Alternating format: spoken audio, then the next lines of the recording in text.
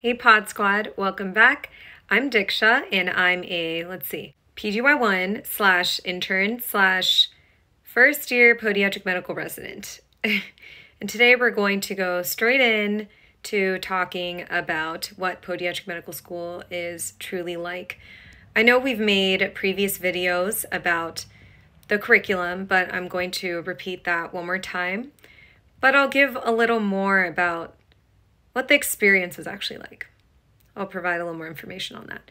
So, we'll start off with talking about how the path to it is obviously, as a lot of you may know if you're watching in your pre med, it's intensive. There's a lot that you have to prepare for. You have to take all the pre med courses, take the MCAT, and not only that, but trying to participate in all the extracurriculars and trying to be the best well-rounded applicant that you could possibly be. And there's the the typical situations where you also have a lot of naysayers as you're going through the path because people will tell you you can't make it or something will happen along the way and they'll say, "Hey, do you really think this is your passion in life?" You interview and you get into one of the nine podiatric medical schools. Now, there's also one that is starting in Texas. It is the 10th podiatric medical school, which is exciting. It's the same subjects, same topics, same requirements to graduate podiatric medical school. However, it might vary in when you do what. So, usually for the first two years, you have didactics, and then you may have you may have clinical experience sprinkled in here and there. And then afterwards, you would rotate for two years. So let me back up a little bit. What was experience like for the first two years? I will say for my program that I went to, me and Yona, we both went to it. It was CSPM, which is in Oakland, California. And for that program, you have you actually start rotations your second year. It's not as it, it's doable. That's that's all I have to say. It's doable. Of course, because we all made it. But you're going to feel a lot of pressure your uh, with balancing, of course, your rotations and your schoolwork. And it's going to feel like that even in your third year, no matter where you go, because you have to study so it's not like after your didactics for the first two years where you're taking all those basic science courses. And if you want to see the details about that, uh, view the video that I'll link here. But it's not just that. It's uh, you have to now study everything in relation to the patients that you see that day. You should be going back, studying on that, studying on any other coursework that you have, reading papers.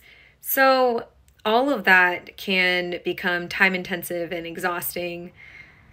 And there's a lot of tears involved in all of this because you're going to realize that if if you are joining uh, this path or even if you're just observing, you're constantly feeling like okay, everyone around me is performing at their best, which is not necessarily true, but that's how you feel that that pressure will always be there. There are sleepless nights.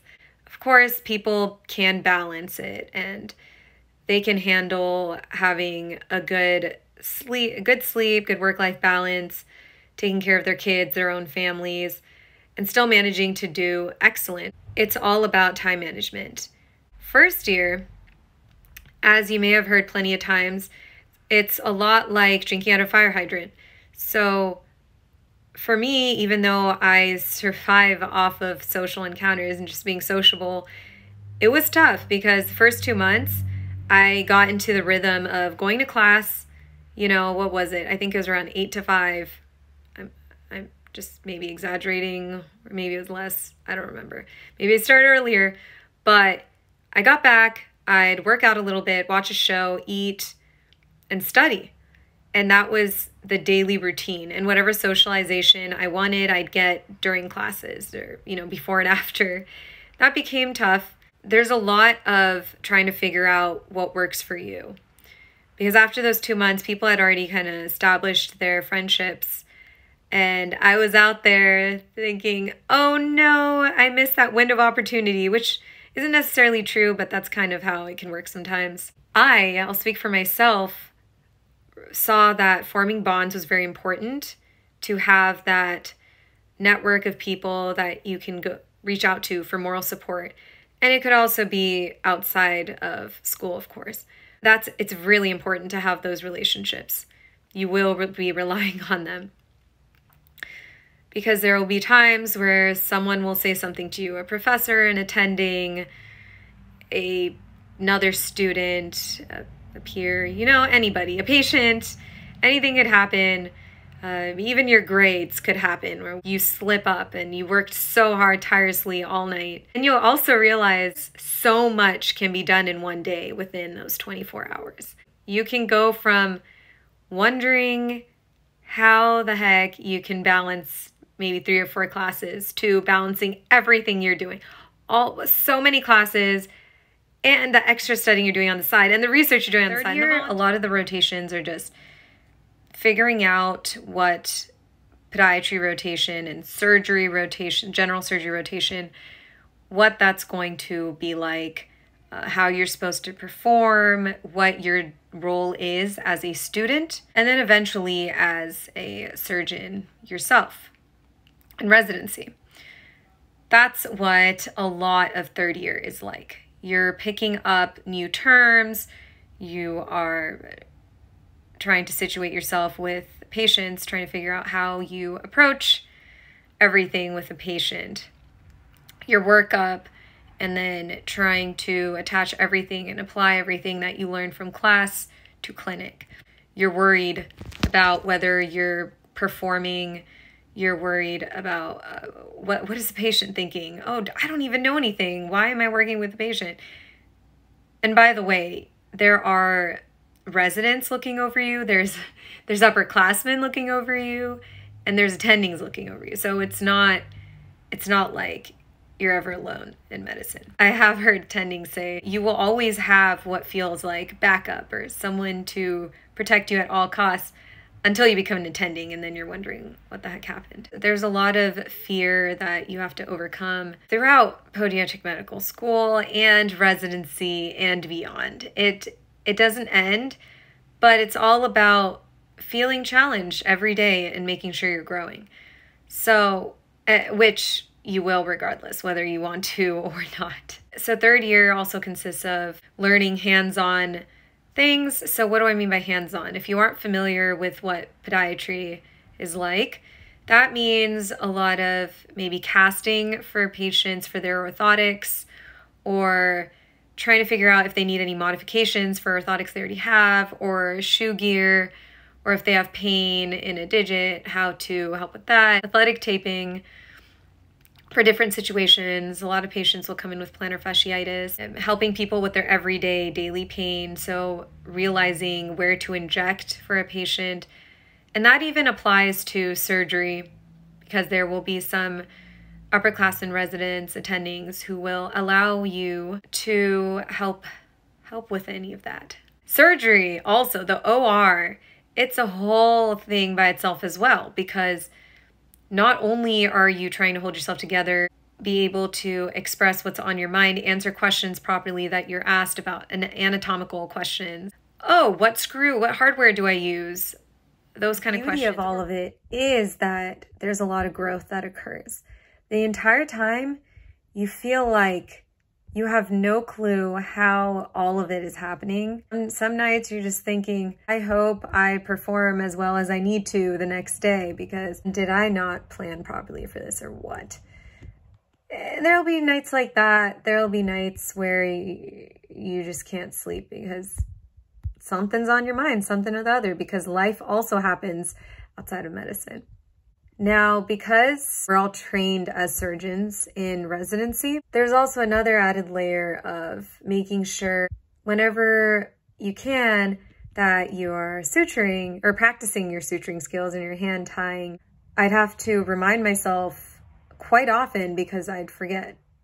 And even right now, I'm thinking, oh man, I need to get a lot of practice in before I begin. Even when I'm hanging out or I'm doing anything outside of studying or practicing my suturing, my hands-on skills. I always have my brain half there, if you know what I mean. I being present is pretty tough, and I know a lot of people can relate and agree with me in podiatric medical school or again in residency.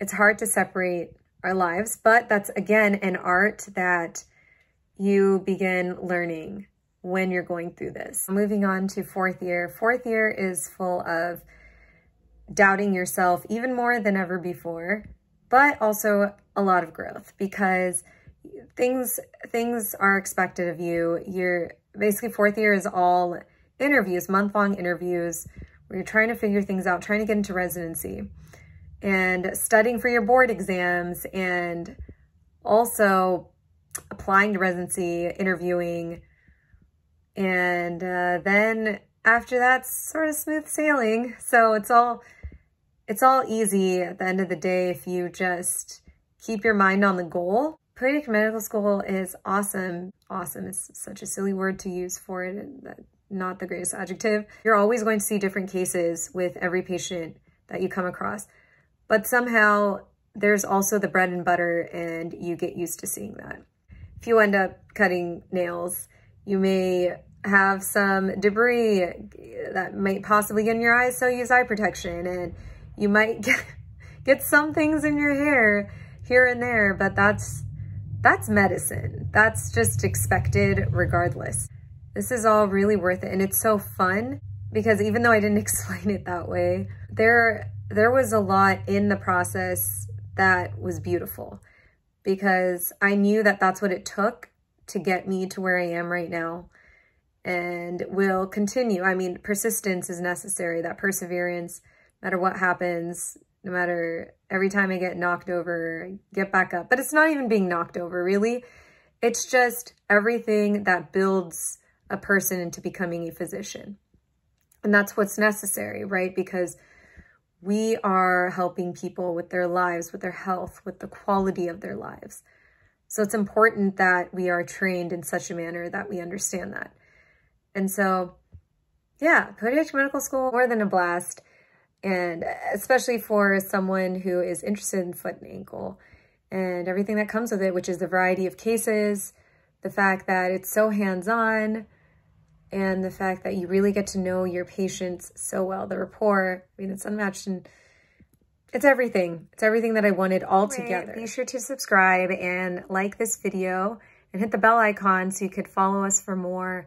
Uh, thank you for watching the video and Pod Squad signing out.